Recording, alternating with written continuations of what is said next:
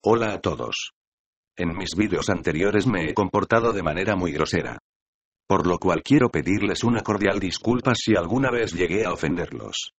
Hasta creen. Por mi váyanse al carajo todos ustedes bastardos hijos de caca. Perdón me exalté, lo que pasa es que tengo algo muy importante de que hablarles. Es esa mierda que hay en todas las escuelas. Y no. No es la carrilla. Es la mierda de tarea. Sí. La tarea. El terror de todos los estudiantes boludos que no tienen nada que hacer más que ir a calentar la silla con su culo. Pero bueno. En fin. Una de las cosas que más te caga acerca de hacer tareas es que tú como estudiante tienes una vida muy cansada. Un día común y corriente sería.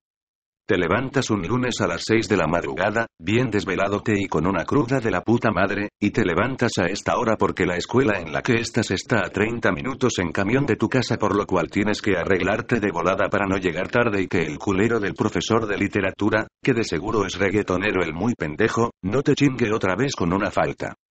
Pero bueno, eso es aparte.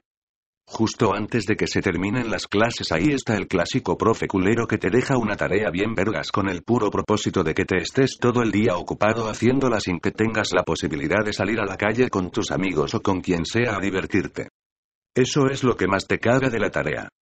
Te hace desperdiciar horas valiosísimas de tu vida. Bueno. Si no haces la tarea al día siguiente está el profesor esperando como buitre a ver quién no trajo la tarea para ensartarle la verga y ponerte un cero. Si la haces te estás todo el día tratando de entender toda esa caca más difícil que meterle más bubí a Sabrina. Te tardas tanto que te desvelas como hasta la uno y media de la madrugada, dependiendo de la tarea.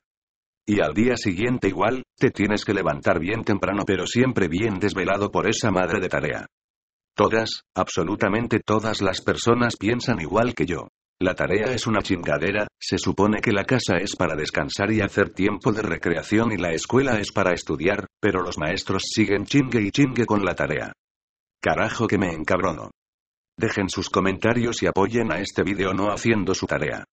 Paz.